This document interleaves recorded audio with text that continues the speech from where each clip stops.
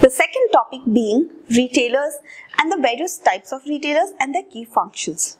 Retailing includes all the activities directly related to the sale of goods and services to the ultimate consumer for their personal or the non-business use.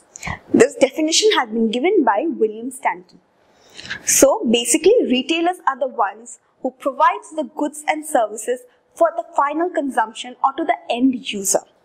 The end user could over here even be the business unit or the normal customers which we come across in our day-to-day -day life. Having said that, let's understand the key functions of the retailers. The first and the most important function of retailers is to provide maximum local convenience to the consumers. For exactly this reason, we see that same shop or the same company shop retailers are open in various locations across the same city. The reason being so that the customers can actually access the maximum benefit and extract the easiest and the most convenient location to themselves. The second being small quantity. Since the manufacturer produces in bulk and provides the same bulk to the wholesalers, the wholesalers yet again provide huge quantities to the retailers. However, the end consumer may not require that much of quantity and for his day-to-day -day consumption will only require smaller quantities. This function is played by the retailer, wherein the consumer has the liberty to purchase the quantity as per his requirement and not the quantity which the wholesaler or the retailer is ready to provide. Next being maintaining a wide variety of stock. One of the key functions of retailers is to stock a variety of goods in their shops so that they can have a wide choice access to the consumers. Next being maintaining permanent and continuous relationship with the customers. Since retailers are the ones who are in direct and face-to-face -face and regular contact with the customers, they are the primary reasons who can maintain good and long-term relationship with the customers.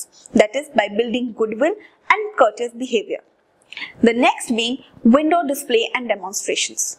Obviously, the customers come in and walk into the retail shops. Hence, window display and demonstrations as the promotional tools used by various sellers have to be performed by the retailers. Next being meeting the daily demands of the consumers.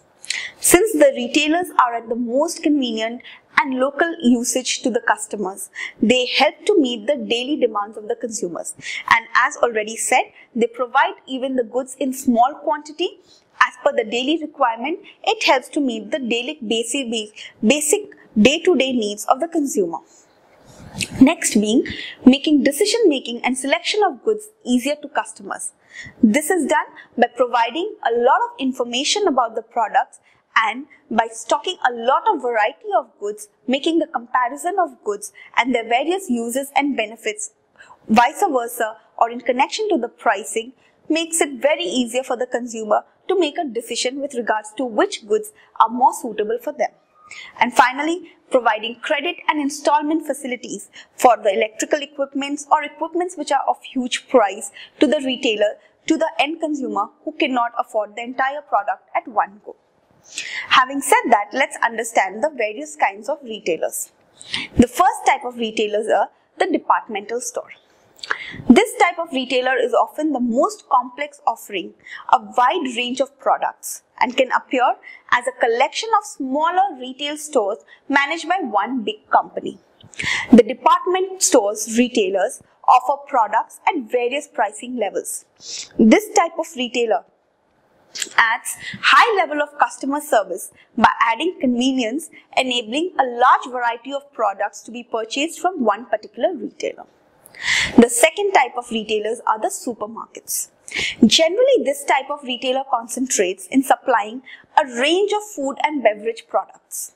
However, many have now even diversified and supplying products from the range of home, fashion, electrical products also. Supermarkets have significant buying power and therefore often retail goods at low prices. The next being warehouses retailers. This type of retailer is usually situated in a retail or a business park and where the premises rents are lower. This enables the type of retailer to stock, display and retail a large variety of goods at a very competitive pricing. The next being specialty retailers. Specializing in specific industries or products, this type of retailer is able to offer the customer expert knowledge and a high level of service. They also add value by offering accessories and additional related products at the same outlet. Next being an e-tailer. This type of retailer enables the customers to shop online via the internet and buy products which are then delivered. This type of retailer is highly convenient and is able to supply a wider geographic customer base. E-tailers often have lower rent and overheads so as to offer a very competitive pricing. Yet again, this is a very new concept and has taken a boom in today's e-commerce and the new online business shopping era. The next being convenience retailer. Usually located in residential areas, this type of retailer offers a limited range of products at a premium prices due to the added value of convenience of location to the customers. The last being discount retailer. This type of retailers offers a variety of discounted products. They offer low prices on less fashionable branded products from a range of suppliers by reselling the line and return goods at discounted prices.